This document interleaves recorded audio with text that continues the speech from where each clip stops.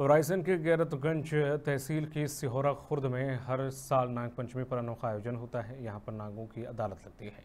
ग्रामीणों को कहना है कि इस दौरान कुछ लोगों के शरीर में नागों की आत्मा प्रवेश करके सर्पदंश पीड़ित को काटने का कारण बताती है और अगली बार किसी को नहीं काटने का वचन देती है। अनोखे और चमत्कारी के इस आयोजन को देखने के लिए दूर दराज से लोग आते हैं। बता दें कि सियोरा खुर्द केसरी नंदन हनुमान जी की महाराज और शिवजी के सिद्ध स्थान के लिए प्रख्यात है।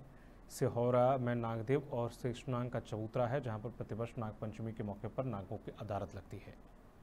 वहीं आधुनिक युग में जहाँ अंधविश्वास को तोड़कर विज्ञान ने काफ़ी तरक्की की है और गंभीर रोगों के अत्याधुनिक इलाज की खोजें हुई हैं, इन स्थितियों में भी लोगों की आस्था अभी भी इस प्रकार के अनोखे आयोजनों से जुड़ी हुई है।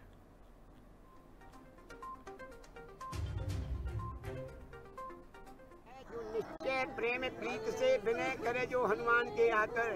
जो दुर्गम से दुर्गम काज एक सौ कम लगा वो करवा ले। अतिथ से प्रेम लगा ये कोई दरबार से। तो सांप के काटे भय और उनके नाम रसिया इनाम की गांठ लगा रही जाए।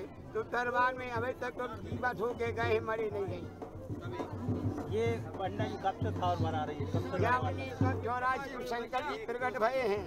जब से दरबार चल रहा जब से शेष नारायण थे आज के दिन भगवान शेष नारायण पाताल में छोड़ करके गौ के सिंह पर हाथ छोड़ कर आज के दिन बिल्कुल पेट मिट जाए। नामों की अदालत लेने के लिए आते हैं।